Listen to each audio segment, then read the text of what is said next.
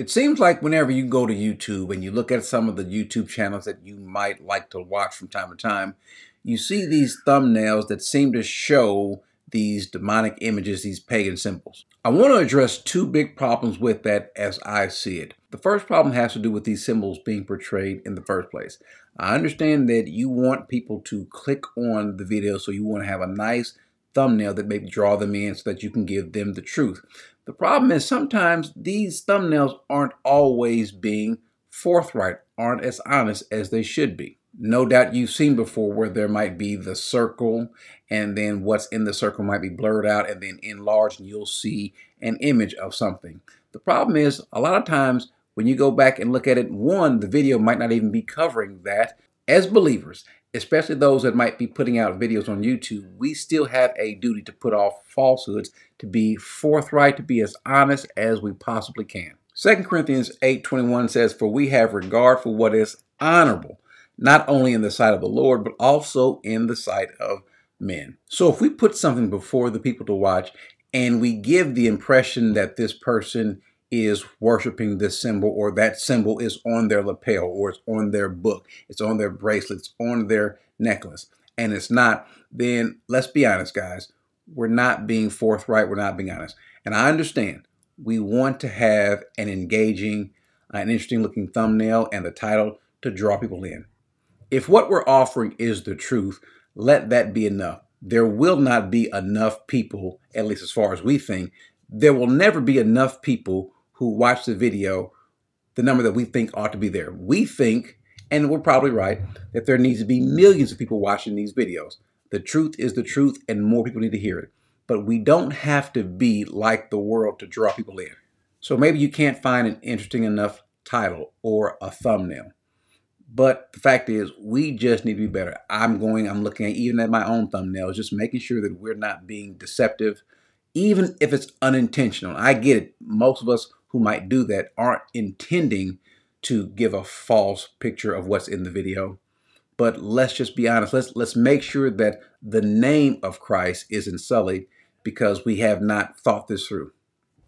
But now, even more importantly than the thumbnails, the fact is there are people that actually have these symbols out there. There are people that actually do have these uh, images either on a necklace or uh, in a ring or somewhere around them. What do we do about that? And this is even the more important question. Should we care? Should we care that people have these images of, let's say, this Baphomet or any other pagan symbol? What's more pagan? What's more demonic? The symbol or, let's say, someone aborting their child? What's more satanic? The symbols or someone hurting someone else? What's more satanic? The symbol or someone not hearing the gospel? What's more satanic, the symbol or someone refusing to place their faith in Christ? The more important thing that we have to do, and granted, I understand that these things are out there and we should be warned, but really, those aren't the dangers. As a matter of fact, when we look in the scriptures, we don't see an awful lot of times where the men of God are coming against these pagan symbols. We really don't see that. We see in the Old Testament prophets going against, let's say, the prophets of Baal, but this was really to kind of make sure that people know who the true and living God is. As a matter of fact, Paul has an account where he goes to the Areopagus and he has a conversation relating to the unknown God. In Acts 17 22, Paul stood in the midst of the Areopagus and said to the men of Athens, I observe that you are very religious in all respects, which is what we have today. We've got people that are looking for something, what they call spiritual, but it really is nothing um, that is leading anywhere. Obviously, it will lead them to hell. And so, what does Paul do in a, in a situation just like this? He addresses them not in regards to the symbol, but in regards to who they ought to be looking for. He says, For while I was passing through and examining the objects of your worship, I also found an altar with this inscription to an unknown God. Therefore, what you worship in ignorance, this is pro- this I proclaim to you. The God who made the world and all the things in it since he is Lord of heaven and earth, does not dwell in temples made with hands, nor is he served by human hands as though he need anything, since he himself gives to all people life and breath and all things.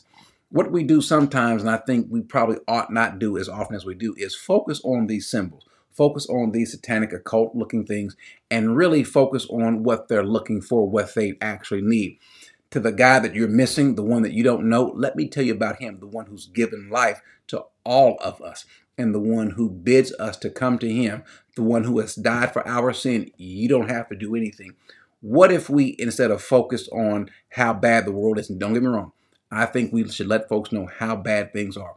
I think we should let people know what is demonic and what's satanic, what's not. But then that needs to be where we pivot and give attention to the known God, where we give attention to who has saved us, who has redeemed us, and how easy it is to be redeemed. Just simply place your faith in Christ. If you believe in Him, on what He's done, the Bible says you shall be saved.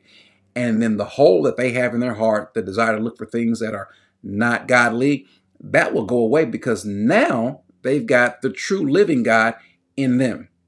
And so, what I think we ought to do, guys, this is just my humble opinion, is that maybe we ought not focus so much on Satan and what he's doing because again greater is he that's in us than he that's in the world. Remember he's not in us he's in the world. And if we if we desire to move people to the new relationship like we have then focusing on uh, satan won't be an issue. That will be more of a thing of the past. And let me say this there was no disrespect intended if I spoke about something and maybe your particular channel does some of the things that I think we ought not to do most of these channels, if not all the ones I'm speaking about. I didn't name any names because I don't want to because I happen to subscribe to a lot of these channels as well.